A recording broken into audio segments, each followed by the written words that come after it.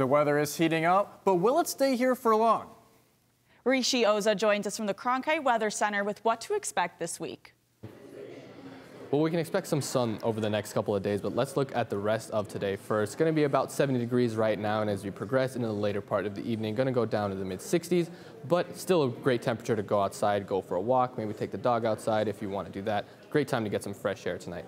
Looking at our future cast for tomorrow on Wednesday, a little bit of rain in the northern part of Arizona with Sedona and Payson getting a touch of that as well. But as we get into Thursday and Friday, that rain's going to clear up. We're just going to see some clouds for the rest of the state.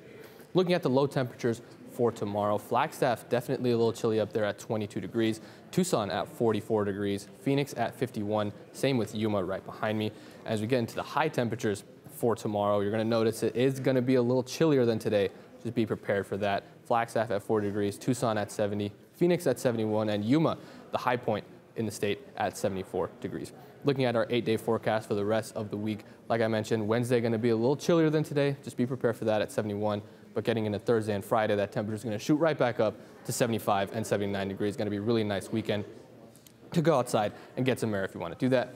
Saturday, going to bring some clouds, but don't worry, not a ton of rain yet. 79 degrees on Saturday, 81 on Sunday at the high point. First time we've seen 80s in quite some time here in the valley.